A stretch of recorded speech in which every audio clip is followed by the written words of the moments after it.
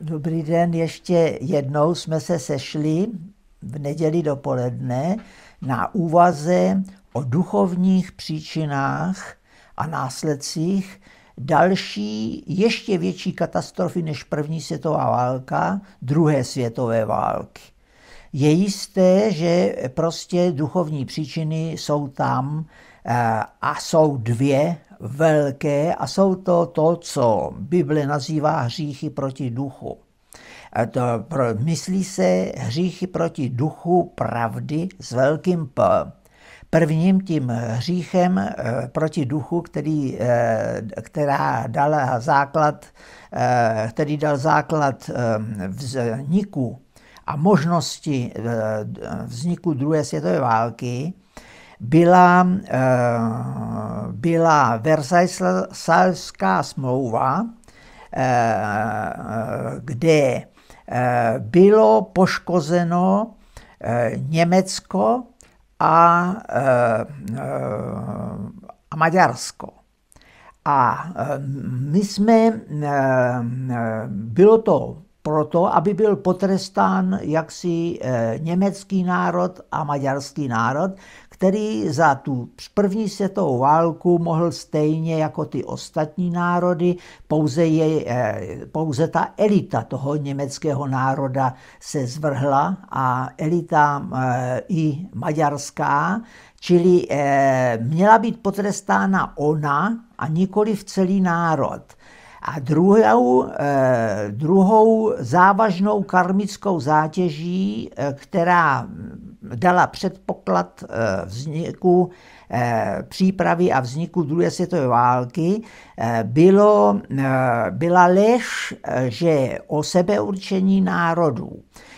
Princip sebeurčení národu je velmi kladný princip a znamená to, že každému národu podle jeho vlastností se dává prostor vytvořit stát anebo eh, kulturu a ty kultury s ostatními eh, státy, okolními a ostatními komunikují a vzájemně se ovlivňují a je to eh, vlastně předpoklad dalšího duchovního vývoje, který je nutný k tomu, aby to lidstvo, které se v, odstlo začátkem 19. století na křižovatce, která může vést nahoru jedině přes vyšší typ náboženství neboli vyšší typ duchovnosti, aby mohlo postoupit, musí eh, mezi tím hrát eh, síly zdánlivě nebo částečně protikladné a tím se přibližují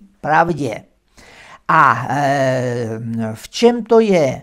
Eh, ty státy, které určila Trianonská smlouva, eh, vlastně eh, vůbec nebyly podle národnostních hranic, Nýbrž eh, eh, polovina maďarského národa byla rozprostřena do eh, okolních států, Rumunsko, Jugoslávie, Slovensko a zrovna tak Němci a zrovna tak záležitost, záležitost oblastí sleských, a čili kdyby byl, byl naplněn ten princip, který Trianonská smlouva vylašovala princip sebeurčení národu, měly být všude plebiscity a podle plebiscitů určeny hranice.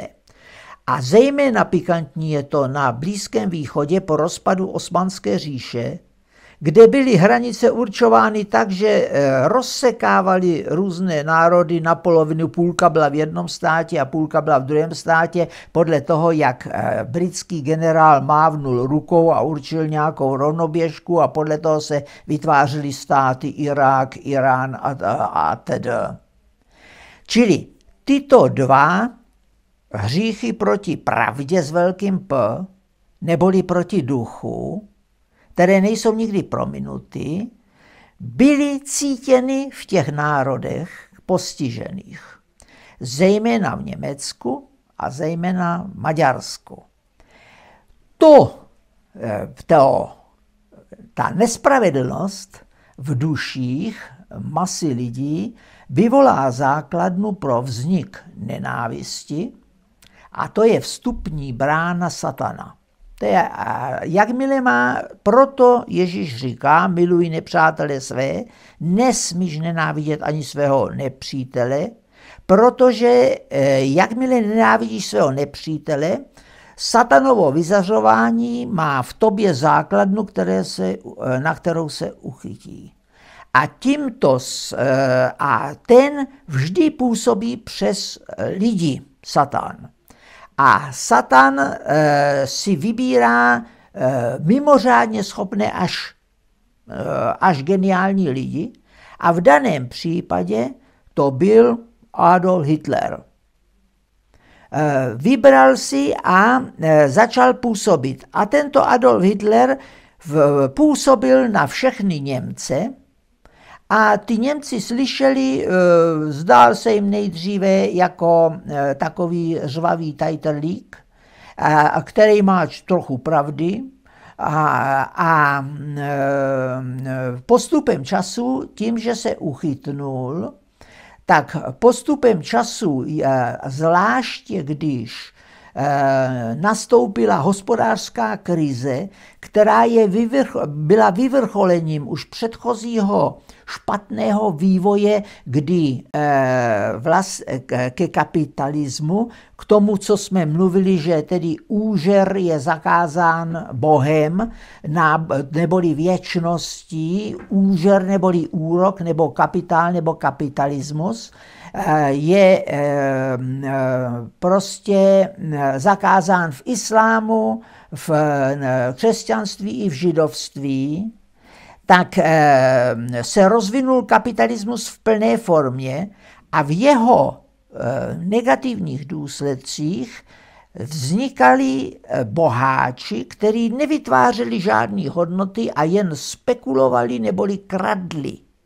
Těm, co vytvářeli hodnoty, je dostávali do úzkých, kradli a pohybovali se v tom. A tak se vytvořila vrstva boháčů, to pokračuje teď eh, super boháčů, kteří nedělají nic jiného, než eh, nevymýšlí žádné hodnoty, nebož jen spekulují, jak ty druhé okrást nějakým způsobem novým, na kterým by ještě nepřišli a tím mimořádně bohatli.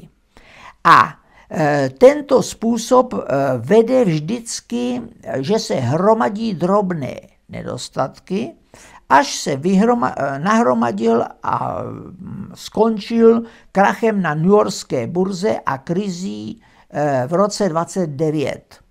Kdo tu krizi 29 prožil, tak si e, má představu. Já mám velmi podrobnou zprávu od mého dědy a otce. A e, pro představu těch současníků říkám, e, v roce 28 plná zaměstnanost, konjunktura, vše šlo nahoru a v roce 29 jeden milion nezaměstnaných v Česku, v, České, v Československu a se sedmi korunovou žebračenkou na týden. Aby neumřeli hlady, dostávali od státu nezaměstnaní 7 korun.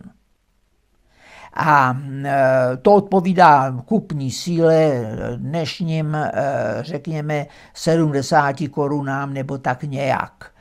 A e, to tež se stalo v Německu a ve všech ostatních zemích. Tím okamžikem se systém civilizace, která k tomuhle dovedla tu hlavní masu pracujících lidí, stala viditelně dále nemožnou. A e, v, nyní vyvstaly dva druhy falešných proroků. Jednak komunisti, kteří říkali všechno všem vzít a všichni stejně, a e, nacisti, e, respektive e, němečtí nacisti, kteří říkali, lidi nikdy nejsou rovní, exist, vždycky byl uh, herenfolk, vládnoucí lid a podřízení uh, otroci, kteří byli na práci. A tuto druhou alternativu, tu první alternativu začal uplatňovat Stalin v Rusku, všechny zaměstnal a druhou alternativu byl v Německu Hitler, který najednou z naprosto bezvýznamné strany v důsledku té krize se stal v dalších volbách nejsilnější stranou. A jakmile se stal nejsilnější stranou ta, a, a byl jmenován kancléřem, ukončil všechny demokratické reformy, silně to eh, demokratická práva jednotlivců, něco podobného, jako se teď ukončuje pomocí covidu, demokratická práva, eh, a, a eh, nastolil diktaturu v tom smyslu, že natisknul peníze, dal všem práci a zaměstnal je na zbrojení. A vykládal. Viděli jste, že spravedlnost že s velkým s žádná není? Že ten, kdo má sílu, vám mohl nadiktovat tady toto, co jste zažíváte? Tudíž je jediná záležitost tu sílu mít. A pak bude německý mír v celé Evropě. A e, Stalin e, obdobně e, v Rusku všichni, e, všem zlem je osobní majetek, každý má mít jen tolik majetku, kolik e, potřebuje k svému životu a, a zbytek je společnost, společnosti a ta s tím disponuje. A zajímavé je, že on byl eh, od počátku nabit určitou jasnovidností, že místo eh, výrobních sil pro výrobu eh, spotřebního zboží se vrhnul všechny odpůrce do pracovních táborů na Sibíři a tam kutali zlato, platinu a diamanty. A řeknu potom později, jak to bylo prozřetelné. A e, ti, e, on je nevyvražďoval, nýbrž všechny odpůrce poslal do pracovních táborů. Tam nebylo možné utéct, protože kdyby kamkoliv šel na Sibíři bez zaopatření, tak ehm, to je jistá smrt. A v těch táborech bylo třeba zajistit všem řádné jídlo, slušné jídlo. A e, to e, on měl mnoho odpůrců mezi rolníky, a takže já jsem slyšel od té vojenské Češky, co jsem u něj bydlel, tak jak to bylo s Hladomorem na Ukrajině. Stalin musel zabezpečit eh, svoje, arm, svou armádu, dělníky a pracovní lágry na Sibiři potravinama, tudíž dal dodávky předepsaný, co je povinen zemědělec odevzdat státu. Jenže ti odpůrci, eh, tam to vypadalo, ona říká eh, na Volini vždycky silnice, a od té silnice eh, byly jednotlivý stavení a i hned si poznal, kde je Čech a kde bydlí Rusín. Podle toho, že od té síly, od, od silnice, kolik si toho zvoral, a obdělal, tak ten pracovitý eh, poznal i hned Čecha zvoraný až do nekonečna. Jo? A Rusíni eh, jenom kousek. A teď, když jim předepsali dodávky, tak ti odpůrci z řad banderovců a místních nacionalistů a tedy řekli, haha, Staline, ty nám budeš něco předpisovat. A zvorali a obdělali jenom málo. A e, v, my, když to tak nebudeme mít. A jenže e, soudruh Stalin, když e, potraviny potřeboval, a, a tak e, poslal jednotky e, vojenský e, a každý mu ten kontingent sebral a většinou těm Rusínům sebral všechno. Takže zůstali úplně hladem a tak vznikl hladomor na, eh, na Ukrajině, který se přičítá, že ho vyvolal eh, tedy soudruh Stalin a tak dále. Ve skutečnosti to byl politický boj, kdy oni na truc mu, eh, jak si na truc mu neobdělali tu půdu a tudíž neměli a tudíž nemohli dodávku dodat. Ale on nemohl těm v pracovních táborech, ve fabrikách a vojákům nedat jídlo. Tudíž vyslal, tak jak jsem říkal v té první, i Rakousko-Uhersko rekvírovalo v červenci 18, k nám přišli vojáci eh, k dědovi a sebrali všechno obilí, co tohle, takže byli měsíc jaksi bez eh, jídla, bez, bez chleba ostatního měli eh, dost. Takže eh, eh, tak vznikl hladobor na Ukrajině. A na druhé straně se rozvíjel, silně rozvíjel průmysl a i Stalin počítal s tím, že žádná spravedlnost není, že hlavně je třeba být silný.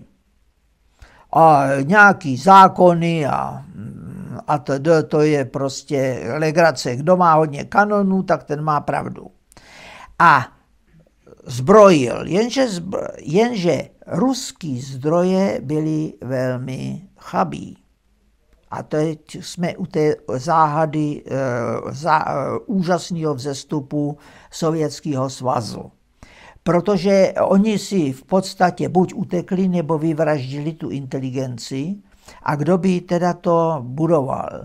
Jenže jakmile přišel Hitler k moci, tak prohlásil taky tu druhou e, tezi, kterou vyhlašoval. E, my jsme v první světovou válku vlastně vyhráli. Ta první světová válka skončila tak, že naše jednotky stály 50 kilometrů od Paříže a Židi vyvolali v týlu, nepokoje a e, prohráli to. Takže Židi jsou škůdci v, e, v týlu a všechny je vyladit. My můžeme další válku vést jen tehdy, když v německé říši nebude žádný žid. A s tím začala ta persekuce židů.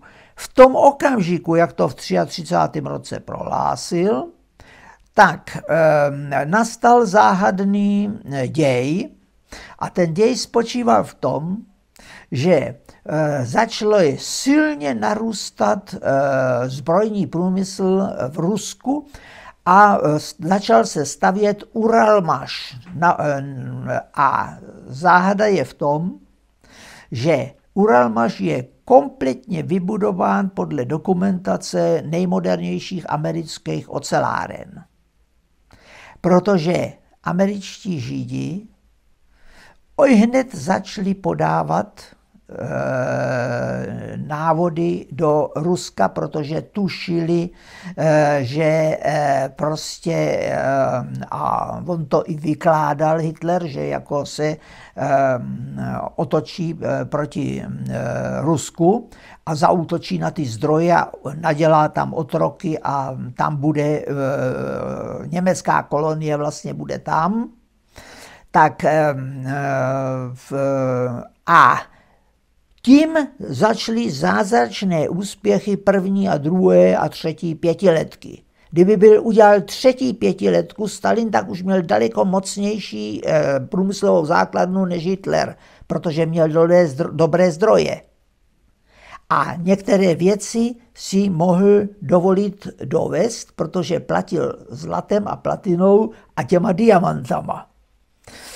A e, te, teď tedy, e, tak tedy vyrostl ten sovětský průmysl nikoliv ze sovětské vědy, nýbrž ta židovská lobby mu potají při, začala přihrávat v okamžiku, když je začal Hitler persekvovat, kompletní návody, dokumentace a vědecké výsledky a tedy. To, je, to se nikde nedočtete.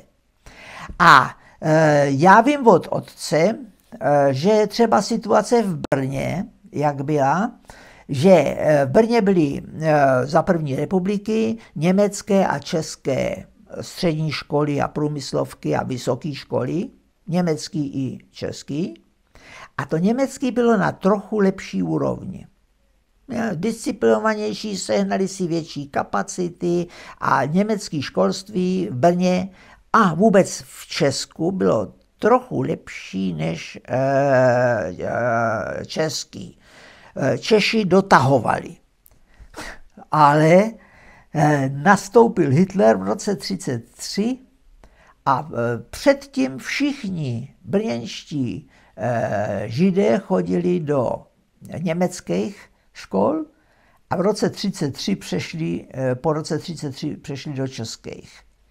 A tam se vysvětluje ten vztah Češi a Němci, če, eh, že se eh, Češi nezastali více Židů, oni nebyli proti ním už kvůli Masarykovi, ale eh, protože do té doby silně inklinovali za prvé nejdřív k Rakousku, a potom, potom jako k něm, k Něme, Německu jako velmoci. Ne, že by milovali ty Němce, ale byla to velmoc a velmi technicky vyspělá a německá věda byla na špičkové eh, evropské úrovni. My jsme pouze jaksi dotahovali, překládali i teda z francouzštiny, u nás hodně francouzština, a z eh, angličtiny z Ameriky. Tak to je takový aspekt, taky se nikde nedočtete a je to od, od očitých těch eh, eh, a k těm vztahům, jak, jak se pozvolna a záhadným způsobem vyvíjely ty poměry a vztahy. S rázem se ze všech Židů u nás stali rozhodní obhájci Masaryka a první republiky, protože první republika byla eh, vlastně, eh, jak říkal Hitler, mateřská letadlová loď bolševismu ve střední Evropě, to je jeho výrok, eh, byla v podstatě pro francouzská, pro anglická a měla za sebou spojeneckou smlouvu s Jugoslávií a s Rumunskem.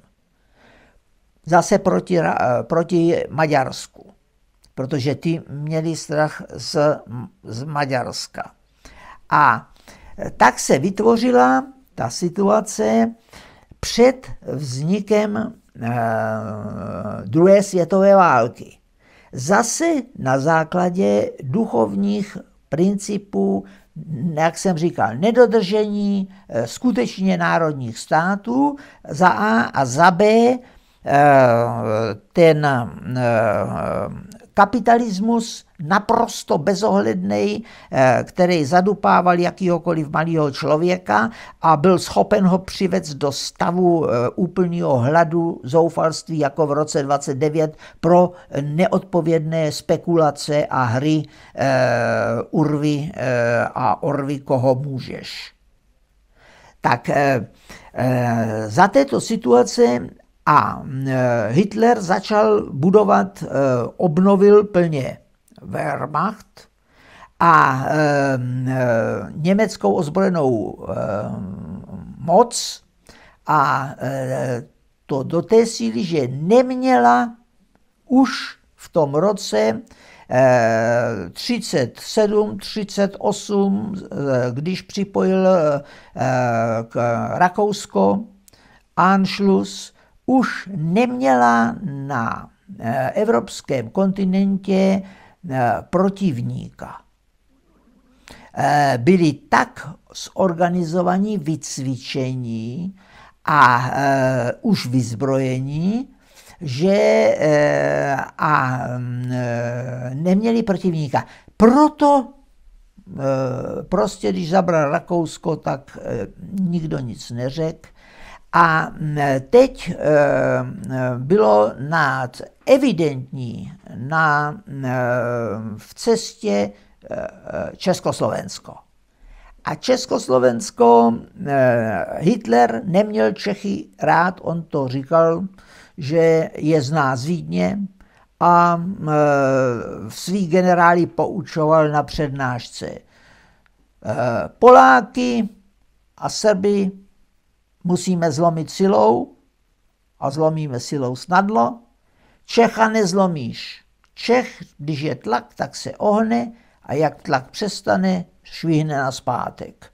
To je originální Hitlerův výrok. Mě nebude někdo poučovat, já je znám z Vídně. Zakazuju, zakazuju, a Hitler přímo zakázal, postup Čechů v německých firmách, protože za chvilku bychom měli prolezlý eh, vedení německých firm Čechama. Zakazuju jakýkoliv eh, jednotky eh, český, protože nemám v úmyslu protivníka zásobovat vycvičenýma vojákama. To je, proto se stalo, že za druhé světové války na východní frontě nebyly jen dvě, dva národy z Evropy, neměli eh, jednotky vojenské na východní frontě. Dánové za to, že nevydali eh, eh, Židy, zatajili a rozptýlili a td. A za druhé Češi, u kterých to přímo zakázal Hitler. A teď samozřejmě v podstatě znajíc své paprajmské, to je eh, západní eh, plutokraty, jak jim eh, říkal, kteří prodají co, kohokoliv, když to bude pro ně výhodné. Říká na německém generálním štábu, je rozhodnut zničit Československo za každou cenu, protože je, to byla jediná situace po dlouhé době, jak jsem říkal v první, že Češi silně protiváleční, kdy byli rozhodnuti bojovat za Češi v mobilizaci, když Hitler na ně nastoupil, byli rozhodnuti bojovat a do velkých ztrát. A v, představovali si válku podle představ francouzských generálů a ty byli zastaralí. Francouzští generálové vedli válku eh, podle pravidel minulé války kdežto Hitler už nechal vypracovat e, strategii pohyblivé války a eh, byl strategicky a takticky, technicky daleko vpředu. Toto měl dobrý hlášení a velmi dobře věděl i Stalin a proto intenzivně e, se snažil oddálit konflikt, aby e, i svou armádu na to e, připravil, na nový způsob vedení války a na, e, protože věděl, že ke střetnutí dojde. A tudíž, kdyby bylo to, e, teď byl závazek, který chtěl formálně splnit. Takže pozval, pozval za souhlasu Maďarů, pozval slovenského Týsa, a řekl mu, buď vyhlásíte samostatný slovenský stát a oddělíte se od Československa, my ho uznáme a budete mít výhodu a ten slovenský stát bude mít takovéhle hranice. A ty hranice namalovali Maďaři. No, malý samostatný slovenský štát. Jo? A, a nebo v následujících dnech vás rozdrtíme silou a celý připadnete pod Maďary. No a Tiso, jak si eh, vyhlásil samostatnost a 14. března, čímž eh, eh, Československo se rozpadlo, tudíž Hitlerův závazek z Míchova zmizel a pozval státního prezidenta Háchu do Berlína a řekl mu, podívejte se, jednotky jsou na cestě, buď rozbombardujeme Prahu a to všechno, a nebo mě požádáte o pomoc a já vás vezmu do ochrany jako protektorát. Hácha udělal to nejlepší, co mohl. To nebyla žádná zrada, ne jak mu vykřikují eh, ty rádobity, kteří že budou, jsou ochotní bojovat do posledního druhého, ale ne za sebe. To eh, byla situace, kdy absolutně nikdo se nás neměl v úmyslu zastat, protože Československo, které mělo závazky, zaniklo a tudíž eh, tak vznikl protektorát. A eh, eh, teď nastala situace, že v podstatě začal přebírat kontrolu nad jednotlivým tím malým státem Hitler za druhým. A jenže taková zajímavost, která je zatajená, Eh, a to je eh, pikantní záležitost kolem jasnovidectví a českého eh, žida Messinga, kterýž to pořádal seanci v Berlíně, když přišel Hitler k moci a e, v té seanci prohlásil, že Hitler e, dobíde celou Evropu a jak se otočí na východ, tak bude e, poražen. A Hitlerovi se to doneslo, protože to bohatí průmyslníci ho tam jako známého věžce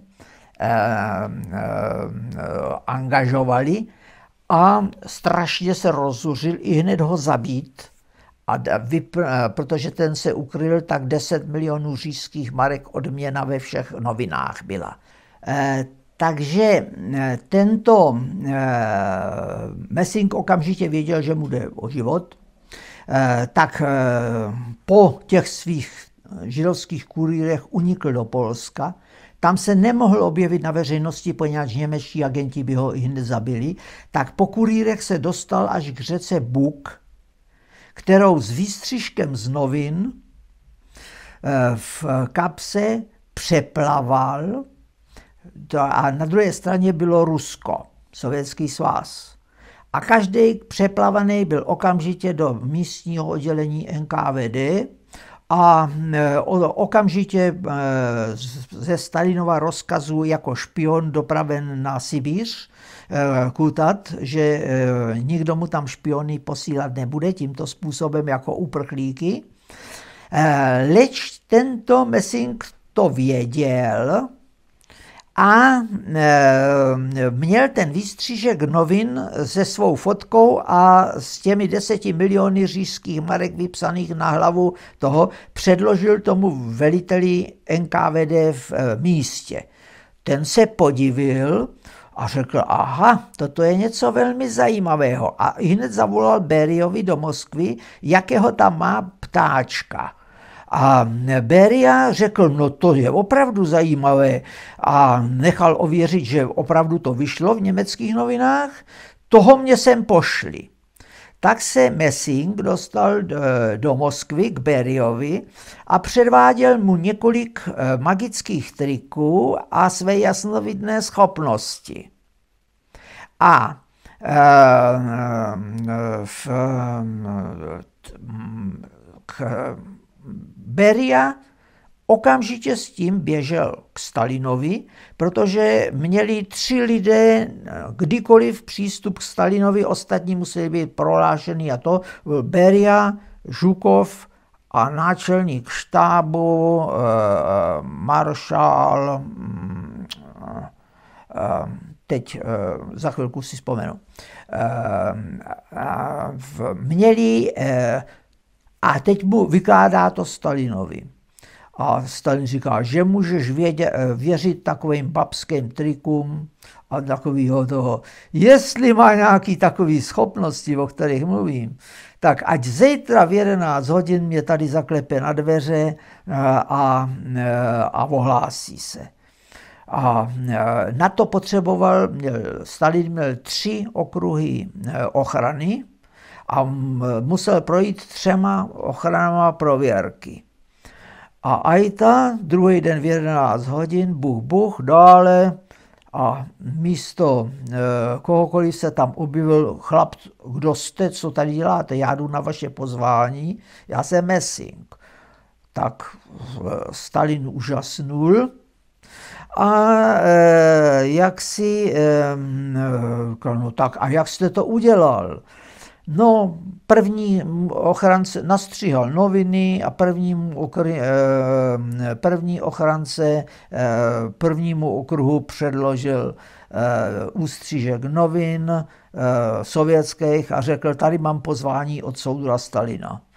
A zhypnotizoval toho čtoucího. Ten tam viděl, pustil ho, tak to udělal dvakrát a třetí seděl důstojník u e, e, Stalinových dveří, e, NKVD, a e, Messing říká, by okamžitě viděl, že toho nezhypnotizuje a že to, že to nebude fungovat, tak udělal, změnil, nasadil krok jako Beria, tvář prošel a sugerovával mu, že je Beria, tak ten vyskočil, zasalutoval a pustil ho. A tím si získal jaksi, že teda na tom něco musí být. A stal se, a to je utajeno jak v sovětských dějinách, tak v našich, protože všechny magické věci, víte, z falzifikací jsou zásadně vypouštěny. Ono jich ještě uvedu řadu z druhé světové války. Ehm, ale ehm, tak se stal Messing Jasin, Stalinovým jasnovicem. A nepřímo způsobil, že nepadla Moskva, a Stalin se optal, když jste teda tak jasnovidnej, a řekl, že to tak jak e, bude fronta. A on mu řekl, Němci postoupí jen na linii e, Leningrad, Moskva, Stalingrad, žádný nedobydou a e, pak už e, budou jen e, ustupovat. A a to, to, to, se, to se i stalo a to byl ten důvod, proč když Němci prolomili frontu před Moskvou v 41. roce v listopadě, tak eh, eh, tam nestály už žádné jednotky v cestě a eh, byly, mám 12 km od Kremlu, přesunuté jednotky. A všechno úřednictvo prchalo z Moskvy a Stalin zůstal v Moskvě. To.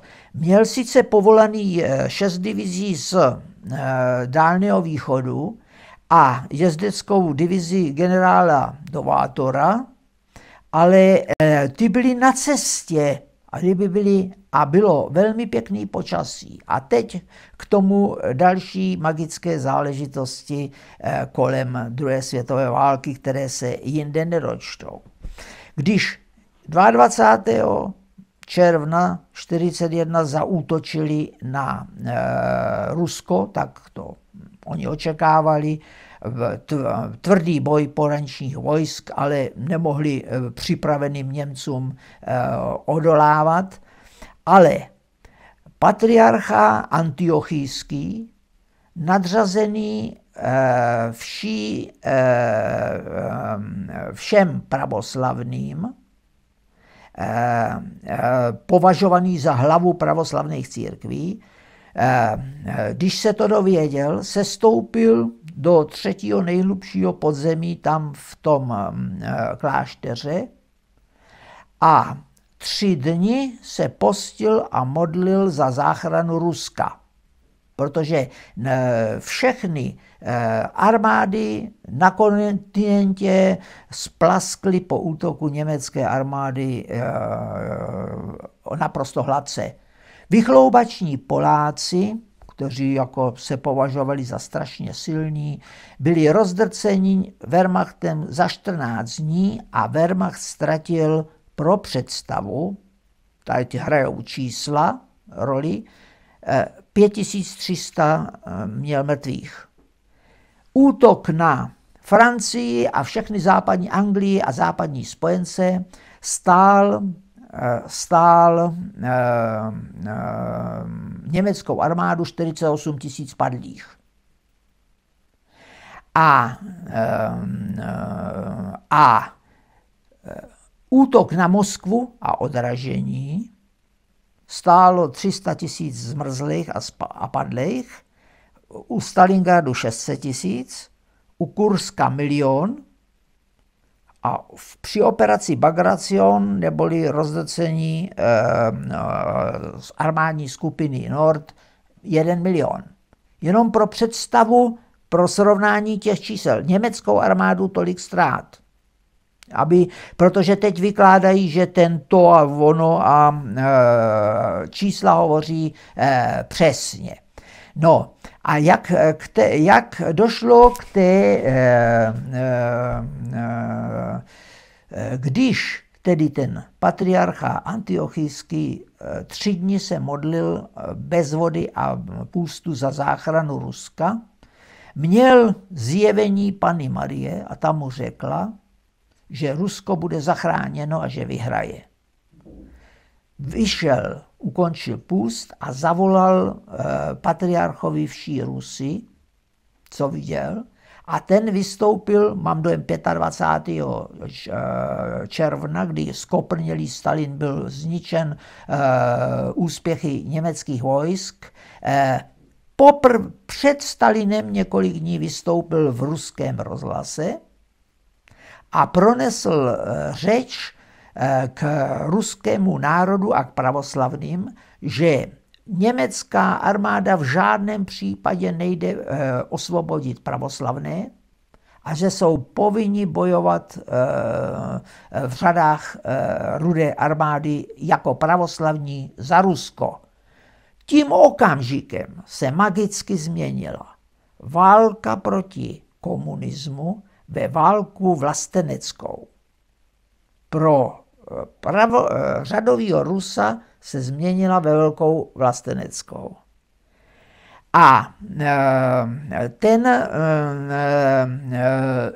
tím pádem nastal neočekávaný odpor ruských vojsk, který eh, předtím eh, jaksi za komunisty by se vzdávali eh, velmi snadlo a nemají zájem, velká část mobilizovaných je, se změnila ve velkou vlasteneckou válku. Čili ne komunisti, ale rusové vlastenci vyhráli druhou světovou válku a rusové pravoslavní. To je e, taková věc, která se samozřejmě za komunismu zatajuje a zatajovala a zatajuje a tedy. Teprve v okamžiku, kdy se změnila válka proti e, židobolševismu ve, ve velkou vlasteneckou válku, se změnil poměr sil a bojové hodnoty všech jednotek. A Eh, teď nastala, teď jsme skončili u eh, té eh, Moskvy. Německý a teď další to, jak proč, proč, jak si to k té záchraně, k tomu magickému. Mimořádně teplý listopad umožnil postup německých jednotek až a proražení Stalinovy linie a u Smolenska po těžkých bojích a obrovských ztrátách až k té Moskvě, jak jsem říkal. A když dorazili k té Moskvě, tak nastala ta záhada, kterou jsme i v Česku zažili, jeden Silvestr. Na Silvestra se chodilo v košili, bylo plus 12 stupňů, a druhý den v poledne bylo minus 8. ty, co šli ze Silvestrovských ostrav, tak to, to prostě něco takového jsem nezažil, hm, meteorologové ví, který to byl ten rok. A prostě přes noc padla teplota o 20 stupňů v tom listopadu před Moskvou a ty tanky a auta zamrzly, to bláto zmrzlo a e, Němci byli, e, měli letní naftu a nemohli nastartovat nic. A tudíž zůstali normálně celá ta invazní armáda, která měla obsadit Moskvu, zůstala zamražená. Proto Hitler vykřikoval, že generál Zima vyhrál jo, bitvu u Moskvu a Goebbels. A za této situaci přisunuli ty zálohy a speci a navíc napadlo půl metru sněhu. A v půl metru sněhu je pohyblivost pěšáka 2 km za hodinu a jezdce, eh, jezdce 10 km za hodinu. A Žukov nasadil nikoliv dopředu před Moskvu, ale eh, na bocích k obklíčení a měl v úmyslu celou armádu před eh, tím obklíčit.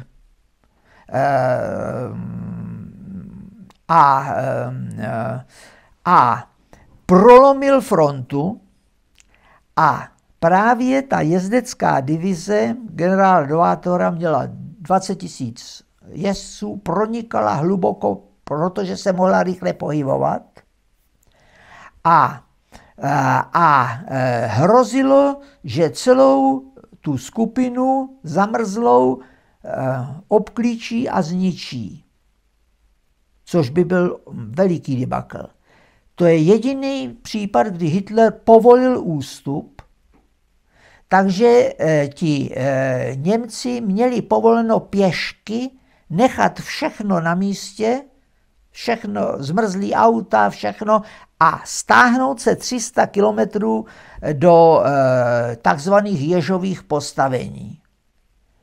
Eh, nepodařilo se je úplně obklíčit, to, tento obklíčovací se nepodařilo a e, Rusové tam utrpěli taky velké ztráty při té protiofenzívě. E, třeba z té jezdecké divize e, zůstalo naživu z těch 20 tisíc 2 tisíce lidí. Jo? Čili e, fakticky přestala existovat, ale byla to první porážka německé armády vůbec v dějinách eh, druhé světové války. Bitva u Moskvy. A má to ještě jednu pikantní záležitost. Eh, magickou. Když ti Němci stáli u toho a hrozili, že vjedou do Moskvy, tak se ohlásil maršál Šapošníkov, to je ten třetí, který měl kdykoliv eh, vstup, eh, u Stalina a řekl mu, že eh, jeho matka měla vidění a paní Marie, a která jí připomněla, že existuje proroctví, že když z kláštera, a teď už nevím jméno, její obraz vyzařující třikrát obejdou Moskvu, že Moskva nepadne. A ku podivu Stalin to povolil. Byl v tak tísnivé situaci, že to povolil. Takže eh, Šapošníkov nechal do malého eh, letadla naložit a třikrát obletěli eh, magickým obrazem Pany Marie Moskvu a, a to následovalo. To jsou ty jemné detaily magické, které to Mělo to další dalekosáhlý následek. Tady toto mělo další následek, že Stalin vydal rozkaz, jim se ruší eh, veškerá omezení eh, pro působení eh, pravoslavné církve v sovětské armádě a jimž se zakazuje nošení křížků a, a účasti vojáků na bohoslužbách. Od toho okamžiku mohli eh, sovětští vojáci na bohoslužby, mohli mít styk s popama a mohli nosit křížky posvěcený od, eh, od matek. To všecko to jsou jednotlivé střípky, které se nikdy nedostaly do žádných učebnic dějin, abychom pochopili e, druhou světovou válku a jak a proč se to zvrhlo. Že zase duchovní podstata. A ta duchovní podstata je, že na tom východě, v té ateistické ruské armádě, nebo přesně řečeno sovětské armádě, a ateistické a bezábranové a lepší vyzbrojené a vycvičené německé armádě se obnovil, obnovila duchovnost a tím se eh, jaksi eh, přízeň neviditelných sil počasních přiklonila eh, na tu stranu. A já to samozřejmě můžu doložit dál, protože když si vezmete tři nejtvrdší zimy v zimě v Rusku v minulém století, tak Aita, a toho si nikdo nevšiml, nejtužší zimy byly 41, 42, 43.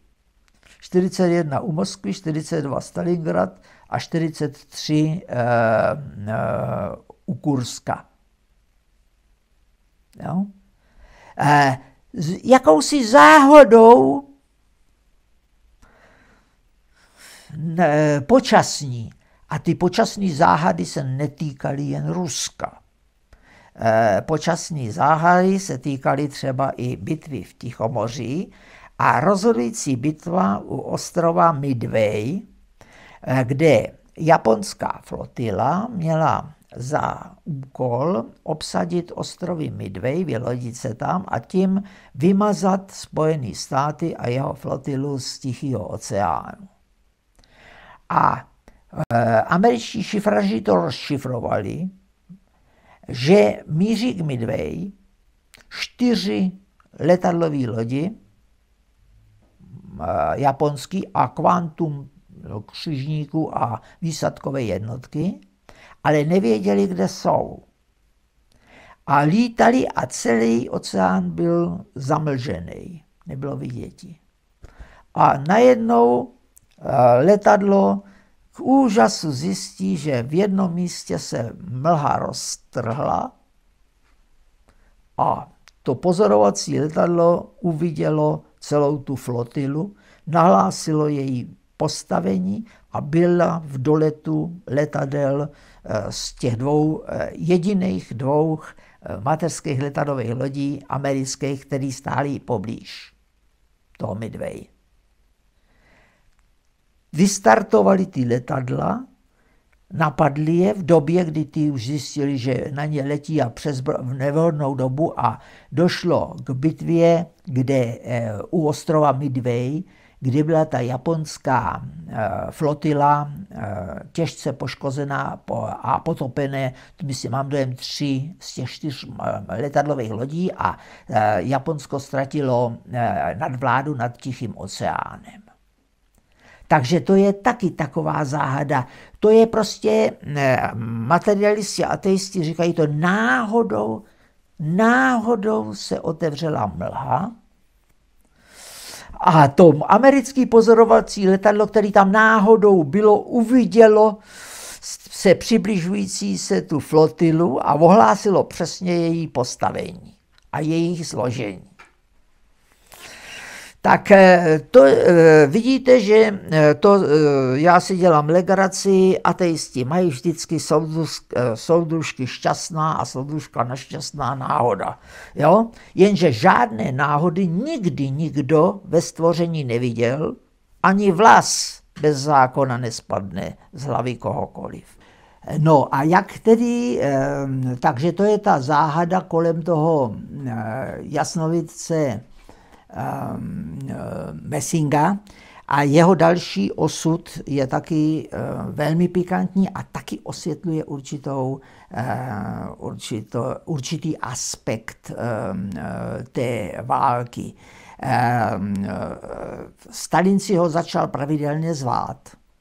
Mimochodem je taky zachránce Stalingradu, protože Stalin si ho pozval, když ty Němci postupovali ke Stalingradu a už byl skoro dobitý a tak dál. A, jas, a Messing mu řekl, že jestliže ho budou bránit, tak ho nikdy nedobydou a že tam dojde k zásadnímu obratu.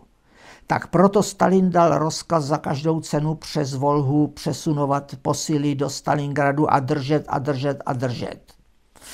Jo? A tím e, ty zuřiví Němci čím dál víc do Stalingradu a oslabovali křídla a na křídla pos, e, a tak došlo k obklíčení u Stalingradu. Právě za té zimy. Čili to je další ta zásluha. Další věc, e, Messing, a, neboli Messi se mu říkalo, že Stalin se ho zeptal, jak zemře. A on eh, mu říká, že otravou. A e, proto, proto tak byl takzvaný tažení proti e, lékařům Stalinovo a byl úžasně nedůvěřový a nedovolil si nic, jak si, nedovolil se léčit, protože měl strach z té otravy, když mu to Messing, který, o kterého si ověřil, že měl ve všem pravdu, řekl a byl taky skutečně otráven a byl otráven varfarinem, eh, který eh, mu dal, eh, a ten se nedá poznat chemicky, a byla to úplně nová látka, a poslal to, získal to Beria od, od Alana Dalese. Jako tehdejší nejnovější vynález to je ten varfarin, který se dává proti srážení krve a když se předávkuje, tak nastane krvácení v tkáních a upadne do mdloby a vlastně zemře. A e, Stalin v té poslední fázi už byl, už e, byl nemocný, nemohl důvěřovat lékařům ani komu, tak se sešlo několik těch spiklenců e, a, a Beria byl nepostradatelný a s Chruščevem a dohodli se, a že tedy, aby mm, bylo dobré, kdyby jaksi soudruh Stalin zemřel, eh, při výkonu službu z přepracování a tak uspořádali ten poslední večírek a eh, Chruščov se tam opil a dělal ty velké opičky a odlákal pozornost Stalina a Beria nakapal eh, ten varfarin do vína Stalinovi. A e, když to e, se rozcházelo, tak Beria zakázal stráži kohokoliv soudu Stalinovi pustit. Jo? Takže, takže e, umřel vykrvácením. A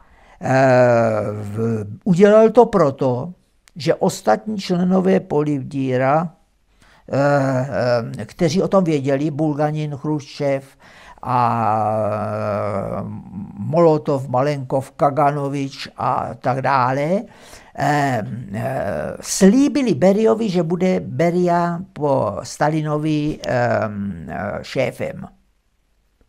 Tak a Beria věděl, že Stalin za čas vždycky šéfa toho NKVD nechal zlikvidovat, aby měl někoho oddaného zase, že toho příliš mnoho věděl. No a tak eh, eh,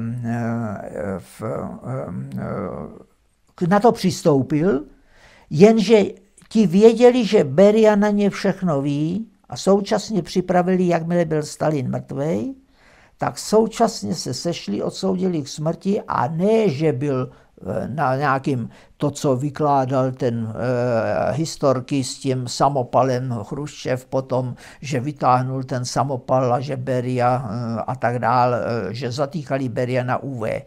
Nýbrž přepadový komando e, Bulganina přepadlo Beriu v jeho vile a postřelo.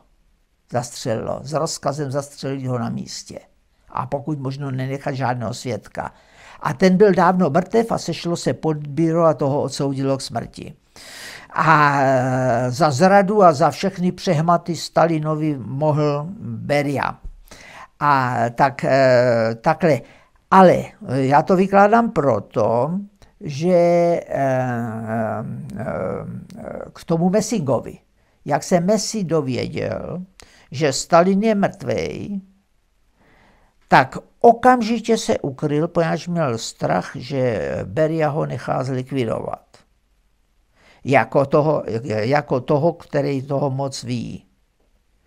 A e, když e, Beria byl mrtvý, tak zase znovu uniknul a ukryl se a dva roky se skrýval na ruském venkově pod neznámým jménem, protože zase měl strach, že Chruščev ho nechá eh, zlikvidovat. Ale pak eh, se do konce života živil eh, jasnovidectvím a atrakcema po ruském venkově vždycky, když přijede pouť jo, a vystupuje atrak, eh, tak, tak Stalinův jasnovidec. Nepochybně schopnosti měl. A, eh, a tak to bylo eh, tady eh, jenom taková odbočka eh, k tomu, ale teď se podíváme na západní frontu, na pikantnost západní, která taky se vůbec nezdůrazňuje a ne, ne, nevykládá. A to je z polské jednotky jel na jejich inspekci v Africe eh, generál Šikorský, hlava, eh, hlava eh, vrchní velitel polských jednotek, vystartoval v Gibraltaru, vezl ho zkušený pilot český Prchala, a jak vystartoval, tak spadl do moře kolmo a e, utopil se a prchala vypalaval. A dnes se neví jak, ale e, přišlo se na to, byl to atentát a byl to atentát e, NKVD, kde, protože eh, rozborem se zjistilo, že nedaleko stálo eh, letadlo NKVD spojující zase anglický vedení s tím a tomu Prchalovi v noci technik přestřihl u toho, u té páky, která e, zvedá kormidla e, to a nechal drátek, drátky a nechal tam jen jeden. Takže on, když vystartoval, a byl připoutaný a Šikorský připoutaný nebyl, tak eh, eh, se nezranil tím pár, místo, aby nabral výšku, když zatáhl, tak prasklo, eh, prasklo to lanko poslední a letadlo kolmo, naprosto nečekaně mm, vlítlo kolmo do, do moře zapíchlo a e, generál Šikorský e, se potlouk tak, že nemohl e, vyplavat. A teď je, to je celkem to, co říkám, je známé. A je otázka, kdo, proč to, proč. A to je, to je už málo známé, to je známé z těch akašických kroniky, je, eh, že Šikorský jednal a byl velký přítel Beneše a jednal, že po válce vznikne polsko-československý stát, který bude polovelmoc a nebude ovlivňovaný ani z Ruska, ani z Německa. Bude dostatečně silný. A dověděl se to Stalin prostřednictvím zase rozvědky prostřednictvím toho, že měl agenty v okolí Benešově. A eh, nad Benešem držel ruku, protože Beneš to byl, který mu našeptal, že proti němu je chystaný to spiknutí generálů. A ono skutečně bylo, že eh, chtěli Stalina odstranit a Tuchačevský a spol, a převzít jako armáda a trockisti takzvaní chtěli přezít plně moc. A on, Stalin si byl vědom, že mu to Beneš prozre, pošeptal do ucha, když tam byl, že německá rozvědka zjistila s pomocí svých agentů, že chystají a že Stalin bude svržen. A proto udělal Stalin tu čistku, výměny, přeměny a tak dál a říká se, že z hlouposti a teda. On z hlouposti určitě nedělal vůbec nic, a, e, ale, ale za to získal e, Beneš u něj jako takový voko, že nad ním držel ruku, že i když byl sesazený po 48. nesměli mu komunisti nic udělat. A kdežto Šikorský a Poláci byli silně protisovětští a Stalin si vypočítal, že když by došlo k takovému moci, tak by, mě, tak by převládli ty protisovětští a byli by, e, měl by nepřátelský stát na hranicích a to si nepotřeboval. A e, proto e, nechal Sikorského odstranit a e, to je pravé to pozadí tohoto atentátu. Ehm, ehm, Poláci ehm, si činí nárok na vedení v západních Slovanech a jsou jaksi automatickým odpůrcem ruského vlivu. To se projevuje do teďka, samozřejmě. A je to opřené, opřené o spor katolicismus a pravoslaví tam hraje roli, a, e, čili toto vysoká politika. A e, tak e, to je další taková pikantní záležitost, atentát na Sikorského.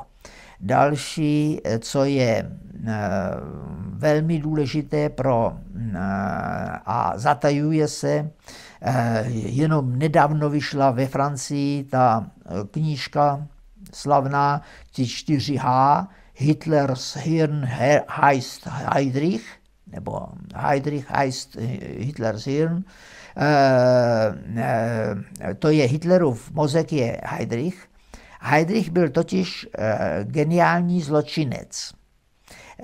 On dosahoval koeficient inteligence 160 a byl nesmírně hudebně matematicky nadaný a e, měl dělat velkou kariéru a e, v námořnictvu a vzít si dceru nějakého admirála, ale e, mus, ten byl člen zednářů a ten admirál a částečně ho zasvětil.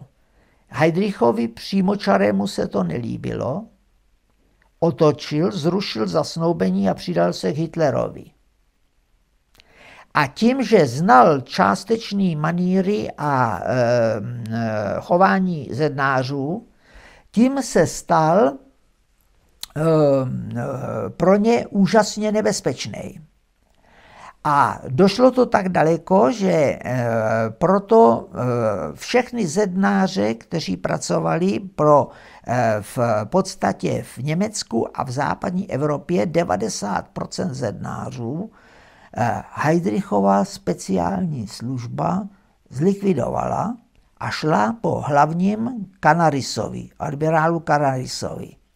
A zoufalý šéf britské rozvědky přišel za Churchillem a říkal mu, jestli ten Heidrich e, e, bude dál, tak budeme v Evropě úplně slepí a budeme bez jediného člověka. A e, musíte s tím něco udělat, něco se s tím musí udělat. A Churchill se zamyslel a zavolal e, uprchlíka e, bez hodnosti Beneše, ex-prezidenta Beneše. A řekl mu, e, pane Beneši, teď se stal říšským protektorem Heidrich. Eh, vy tam máte možnosti. jestli toho Heidricha zlikvidujete, tak já vás uznám za hlavu státu a stanete se prezidentem Benešem a odvoláme Míchovskou dohodu a uznáme Československo jako bojující stranu a budete sedět eh, při vítězné válce u stolu vítězů. To, když by než slyšel, i hned zavolal plukovníka Moravce a řekl, dej okamžitě za jakoukoliv cenu zabít Heidricha. Operace Antropoid. A mm, tak vysadili ty skupiny s rozkazem zabít Heidricha za každou cenu. A mm, v, v, ten odboj volal, to není možný, kdybychom zabili Heidricha, tak to bude stát strašná msta Německa a tak dál. Telegram zpátky, rozkaz navrátil. Za každou cenu zabít Heidricha. Zabili Heidricha, Gabčík s Kubišem, eh, eh, londýnská vláda uznala Beneše za prezidenta Beneše, Československo se stalo bojující stranou a bylo obnoveno v uh, už za války vylášeno obnoveno v původních hranicích.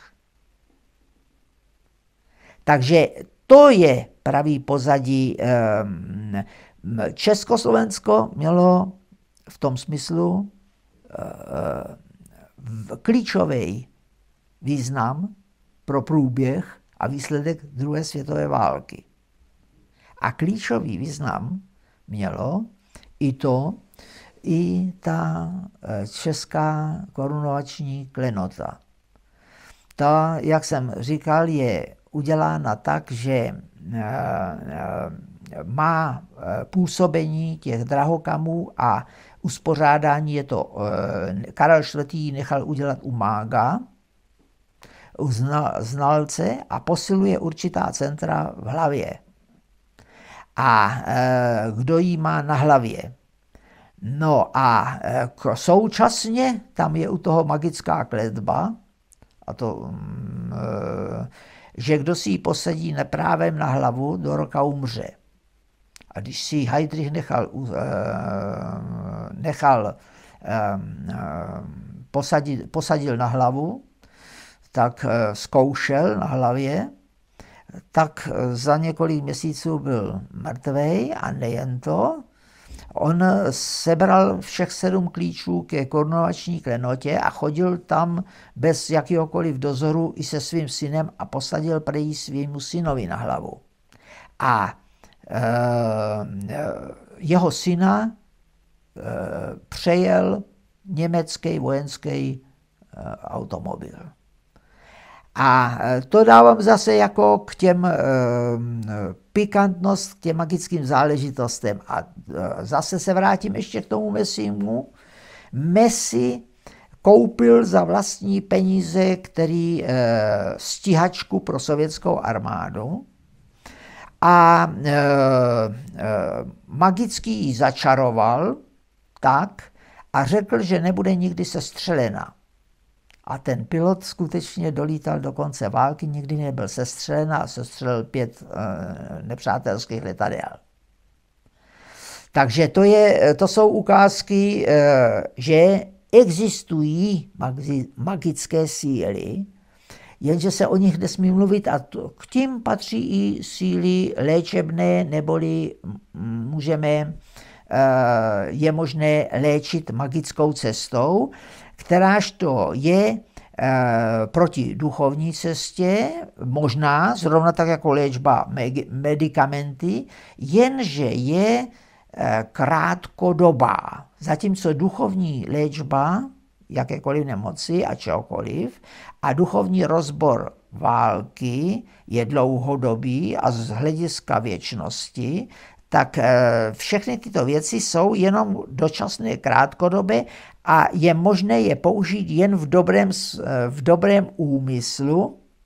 A s vědomím, že si něco půjčuju, co je uh, jaksi velmi jaksi um, nebezpečné.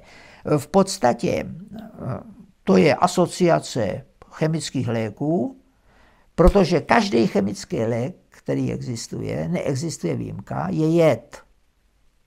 A existuje u něj, to tajemství spočívá ve velikosti dávky, je dávka neúčinná, pak je dávka účinná a pak je dávka jedovatá a nakonec smrtící. A totež je to u těchto záležitostí neviditelných astrálních. A, a ty astrální záležitosti jsou možné vždy jen do míry, e, míry kdy to e, nekori, nekoriduje s s duchovními proudy a s duchovními příčinami a s duchovními principy. Duchovní principy jsou principy Ducha Svatého, jsou nadřazeny nad všechno. A jsou, právě se označují tím, vyznačují tím, že jsou trvale platné. Proto mohl Ježíš Kristus říct pravidla a ty platí ještě po dvou tisíce letech protože on mluvil z ducha věčnosti, neboli z pramoudrosti. A to platí. A kromě toho existuje samozřejmě moudrost, která je krátkodobá, je použitelná, proto ji existuje, kdyby nebyla, se nesměla používat, Bůh by ji nedal, člověku rozum a moudrost, ale musí být podřízena tomu vyššímu principu. Jakmile se dostane do rozporu, je zlé. Otočí se a vrátí se zpátky. Takže eh, tak je to eh, tady s těmito principy, eh, krásně to je vidět na těch právě principech válek, kde jako dočasné úspěchy se říká Pirhova vítězství a td. A, a rozhodující v těch válkách je vždycky duchovní náboj. Ten duchovní náboj musí mít Eh, když eh, válka je, proti, eh, je přečin obecně proti duchu svatému. Kdo ji začne, tak ji i prohraje. V poslední době všichni, kteří začali a naplánovali války, tak ji i prohráli. E, ta, e, tu útočnou válku. Ale jakmile válka začne, začne, eh, začnou eh, eh, působit duchovní principy, které, které mají schopnost pomocí náhod změnit techniku sledování, směřování čehokoliv. Pomocí takzvaných náhod. Náhody nedělá nikdo jiný než živly, řízené anděli, a to jsou vlastně výkonné ruce božích mlínů. Čili my si eh, tadyhle eh, proto Německo v roce 41 před útokem na Rusko mělo vlastně celý svět a anglická a americká armáda neměla naprosto žádnou šanci, naprosto žádnou šanci porazit eh, při jakýmkoliv eh, materiálním množství Německo. A samozřejmě, že tohle je v současné době budou stoupenci pravdy a lásky strašně zuřit, že kde pak, že americká armáda nejlepší. A tedy to hodnotil přesně Eh, právě tady tuto vlastnost hodnotil přesně Churchill.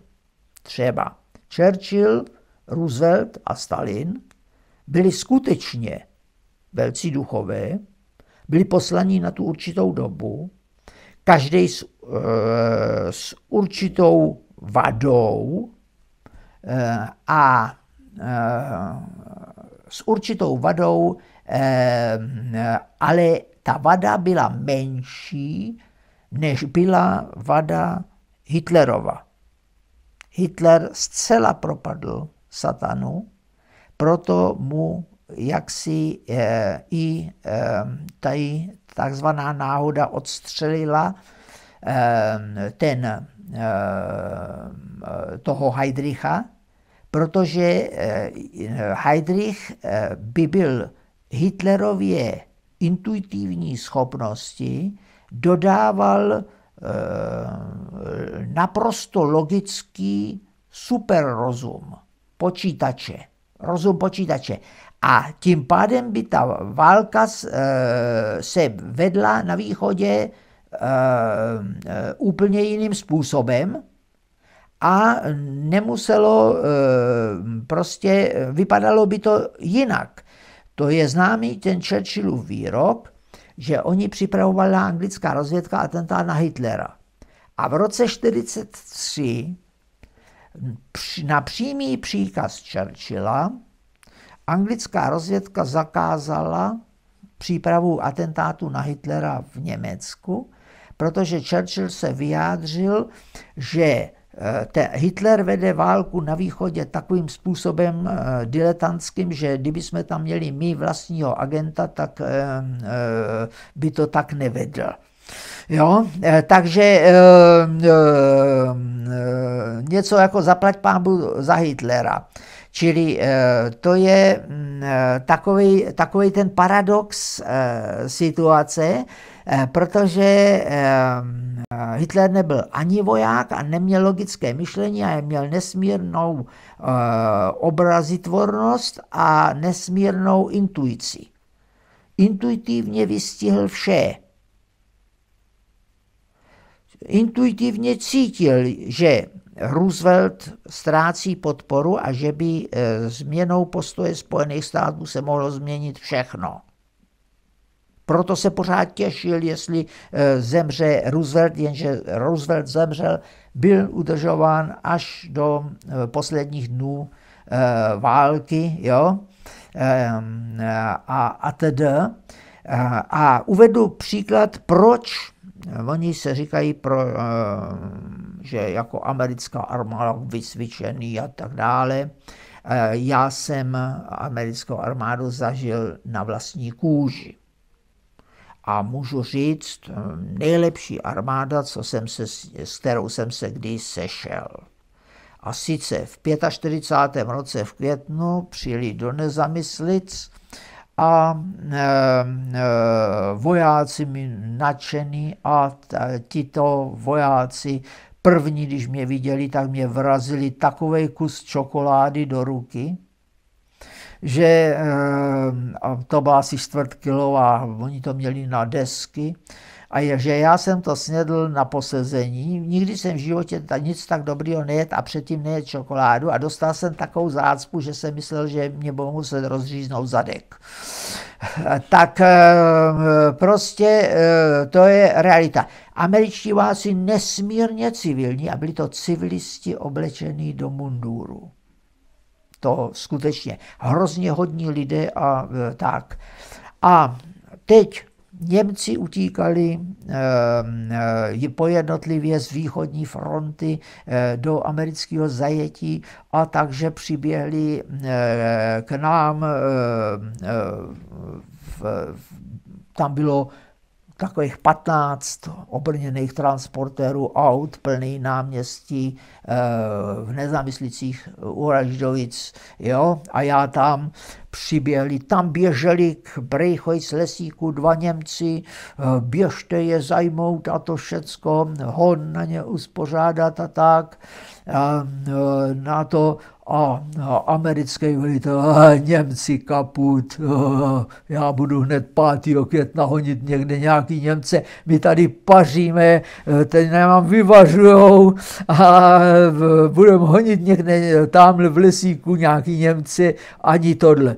Ale místní odbojáři, děda byl taky místní odbojář, na, na ně, a to se musí, a tohle, to ono, a, no, naštvaně si pamatuju do dneška, mávnul rukou na nějakého černocha s kulometem, ještě druhým, šli, táhli k nám na, na zahra, dvorem na zahradu, postavil kulomet Černoch, vedle bed, plnou bednu nábojů, namířil na ten brejchoj z lesíka celou bednu nábojů, tam vystřílel Němci kaput.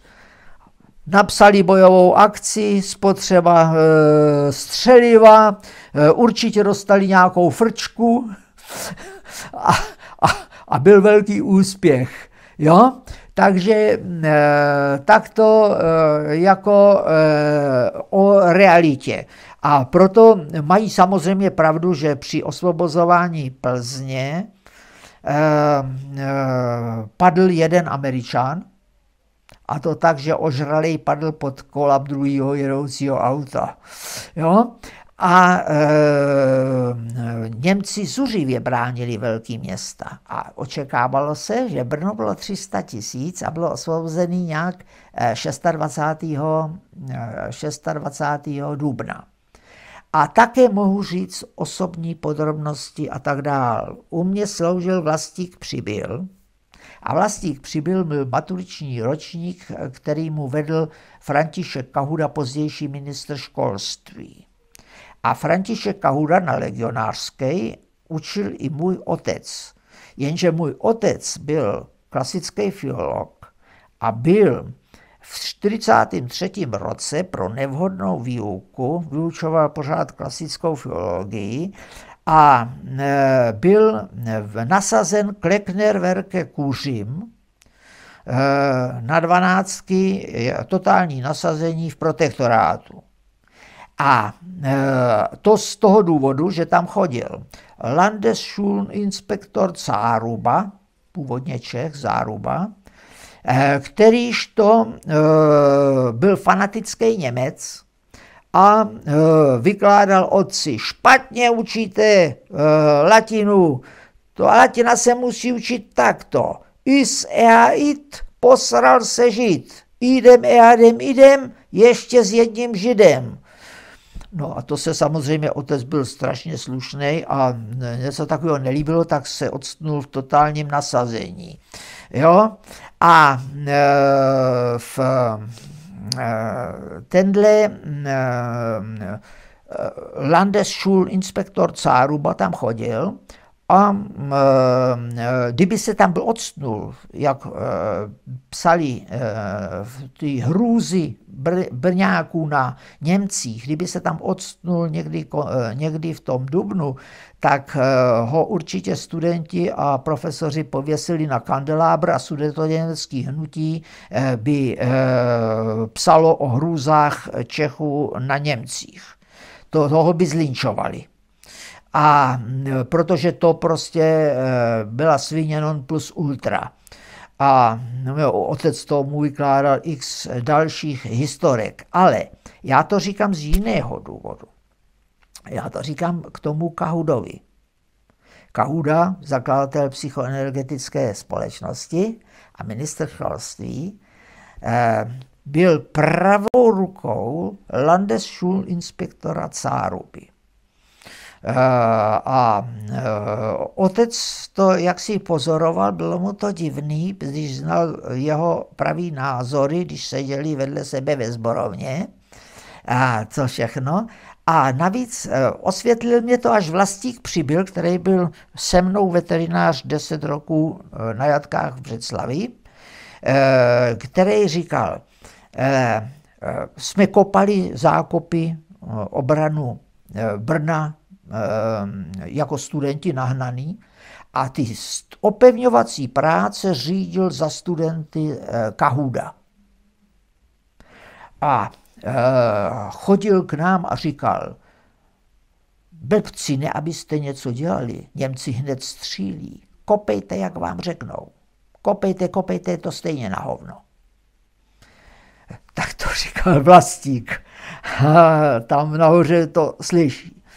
A ne, takže kopali, kopali. I tam sfackovali, kdo kopal bálo a Němci byli zuřiví a e, ty velké města se bránili velmi tvrdě. 300 tisícový město by byli bránili e, e, zuřivě. A k úžasu přihrnula se červená armáda a jediným útokem, záhadným způsobem obešla všechny vykopané opevnění a za jeden den dostali Brno. 26. skoro bez boje. Měli přesné plány.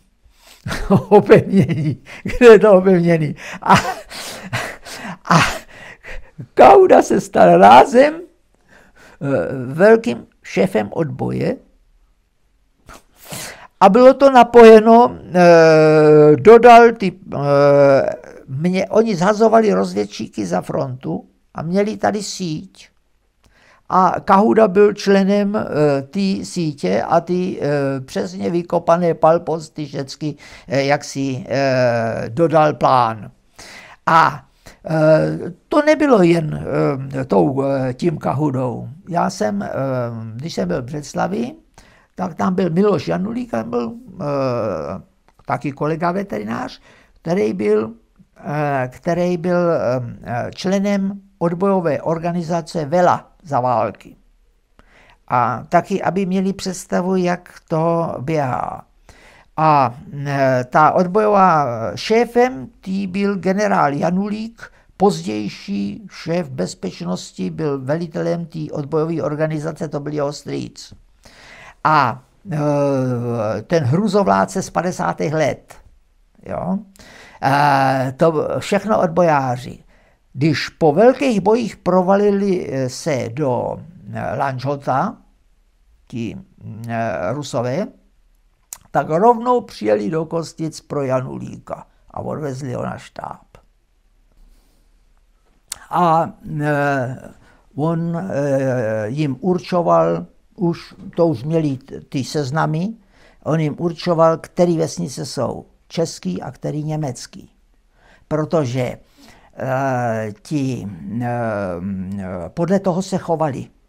Když útok byl zaječí, byla německá vesnice, je německá vesnice, tak tam se chova, můžete chovat jako dobyvatele, co pozbíráte, je tohle vedle je vesnice Česká, tam jste osvoboditele a běda, když to, tak to řekli vojákům předtím. Teď budete útočit, zabírat českou vesnici, tak tam jste osvoboditelé, běda, kdybyste tam rabovali nebo znásilnili nebo tak.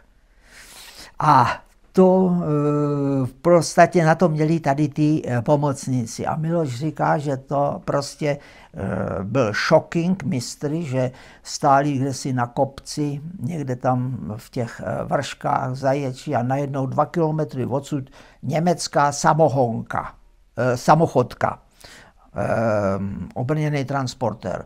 Okamžitě k dělům a ten důstojník vzal rožvejkanou silku, řekl nějaký čísla, salva, šlo to vedle, tohle, oprava a druhou ranou, eh, druhou salvou eh, eh, samochodka splála. Ji zasáhli že prostě absolutní mistři bez jakýchkoliv pomůcek, vycvičený, eh, jo, eh, na tom. To, to prostě, mm, eh, to se získá jen všichni ti, kteří se nenaučili bojovat a vyhybat a kulkám a td., tak byli mrtví v té ruské armádě a to, co přišlo, tak to prostě, to byli nacvičení profíci.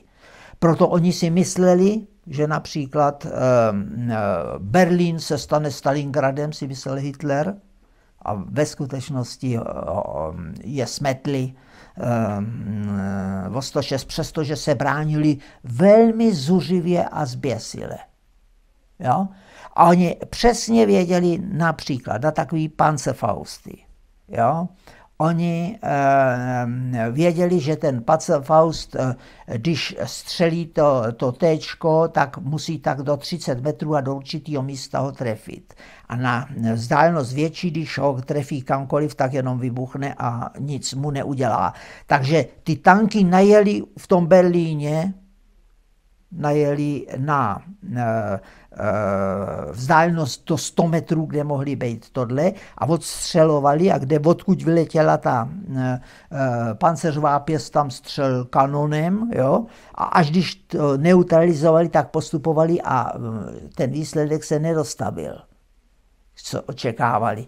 A k těm velkým ještě operacím Eh, to, že Američani se vylodili eh, v tom, se taky zatajuje, eh, v, na, v Normandii, tak vyhodili za ten první den 150 tisíc vojáků. V podstatě, kdyby Němci ty vojáky, který tam měli, na ně vrhli, tak byli v moři zpátky kdyby stačili přesunout. Oni je nečekali na tom místě, protože je oklamali, že je, se vylodí u Calais, tak tam čekala ta uh, německá armáda, která měla odrazit invazi. A co se zatajilo? Když se vylodili, tak Churchill volal Stalinovi, jestli by mohl uh, urychlit, uh, jestli by mohl pomoct zautočit.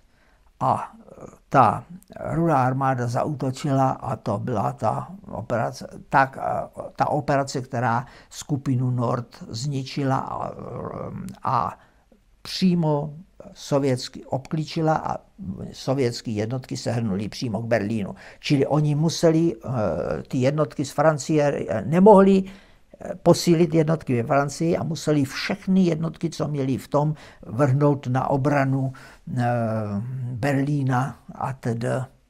Jo? Čili to, že volal, tak to se nikde nedovíte eh, a tedy a řekne se, že eh, ty a i čísla nelžou. Celá západní armáda měla ve Francii a v západní Evropě 3,5 milionu vojáků. Německá armáda měla 8 milionů vojáků a, a ruská armáda měla 12 milionů vojáků. Ty počty už vypovídají o tom, v případě, kdyby se Rusové zastavili a udělali mír, tak 3,5 milionu špatných vojáků za 14 dní bylo mm, hotovo. Čili eh, takhle to je. Eh, teď eh, skončila druhá světová válka a mělo nastat skutečné uspořádání. A to skutečné uspořádání nenastalo, protože ti uctívači síly věděli, že eh, prostě eh, ta eh, ruská armáda je tak silná, že kdyby se rozběhla, tak skončí v Lisabonu. Neměli šanci. Čili tím jsem naznačil, se pokusil naznačit, doplnil jinak fundované dějiny druhé světové války některými pikantnostmi, které tam byly vynechány, které přesto tomu dávají eh, trochu jiný eh, rozměr, než obvykle eh, je jaksi přijímán. Je, je, je z toho několik jistot, že vyhrál nepochybně světovou válku Sovětský svaz, ale že ji nevyhrál jako komunismus, ale jako bojující národy a národy duchovní a spojený národy, spojené se sovětským s, s Rusama, tam bojovalo x národů jiných, včetně Čechů, i když třeba malým počtem, ale zase na důležitých místech. A Eh, že ta druhá světová válka ukázala, eh, eh, že ani síla vypočítaná logicky není rozhodující, že rozhodující je ten je duch, jak jsem se pokoušel v několika věcech, a že má být každá válka zakončena spravedlivým mírem. A ani druhá světová válka nebyla spravedlivým mírem ukončena, proto vlastně to napětí se trvalo a proto se spustila železná opona a nakročilo k třetí světové válce, která byla zase zcela jiná než ty dvě předchozí, jako první válka pevnostní byla jiná než uh, druhá válka uh, tanková. Ne, je a proběhla třetí válka jinak, než se očekávalo. A zase bylo eh, pro ní rozhodující, to eh, příště rozeberem, zase bylo pro ní rozhodující eh, duchovní principy, protože války nikdy nevedou mezi sebou zvířata. Je jenom o svoje teritorium výživný e, smečka a nikoli v druh proti jiným druhům nebo něco takového. E, ale e, vždycky jen lidé, všechny války. A člověk se liší od zvířete právě tím, že má sice tělo a duši, ale kromě toho má ducha. A zvířata nemají toho ducha. A ten duch je podněcovatelem, e, je principem člověka a taky vlastně původcem všech válek protože eh, ten duch je povinen se řídit eh, duchovními zákony, to je spravedlivostí s velkým S. A když se neřídí, nastane vada, závada, a to je, ta se projeví jako takzvaný boží mlíny, buď eh, v uvolnění živlů a nebo v uvolnění eh, společenských a sociálních sil, což jsou války a revoluce. A my stojíme teď uprostřed jednoho takového zvratu a proto si myslím, že trochu připomenutí těch předchozích zvratů a jiným způsobem, než tomu dává eh, tato Eh, tato historie nebo tito historici placení, eh, že by to bylo užitečné si připomenout tyto věci jaksi z, z pohledu obyčejného pozorovatele a účastníka a spoluúčastníka v tom smyslu, že se účastnili můj děda, otec a kamarádi a známí, a tudíž je to přímé svědectví přímo viděno na vlastní oči. Takže e, příště e, bych e, pojednal o průběhu a výsledku třetí světové války, neboli rozpadu sovětského bloku, komunismu, proč a jak a jak k tomu došlo.